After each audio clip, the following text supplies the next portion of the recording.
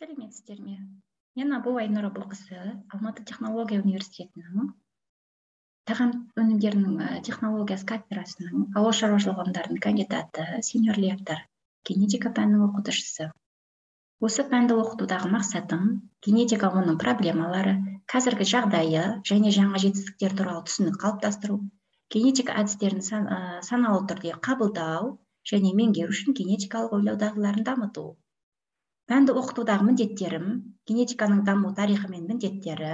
негізгі кезеңдері тұқым қуалаушылық жасушалық механизмдері тұқым қуалаушылықтың белгілері мен принциптері полигибридті будандастыру кезіндегі мұрагерлік э, гендердің өзара әрекеттесуі кезіндегі тұқым қуалаушылық жынысын анықтау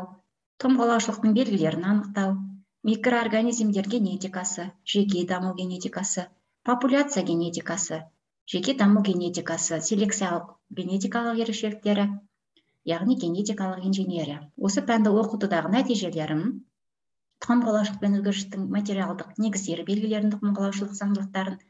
генетикалық талдау негіздері тұқым қуалаушылық хромосомаларының талдау негіздері тұқым қуалаушылық хромосомалардың теориясы ағзалардың өзгергіштігі мен теориясы яғни ағзалардың өзгергіштігінің түрлері мен себептері. Генетика проблемаларының қазіргі жағдайы ағзалардың тұқым қуалаушылық пен өзгергіштігін басқару мүмкіндіктері. Сонымен қоса генетикалық мәселелерді шешеді тұқым қуалаушылық пен өзгергіштікті зерттеу бойынша эксперименттер жүргізеді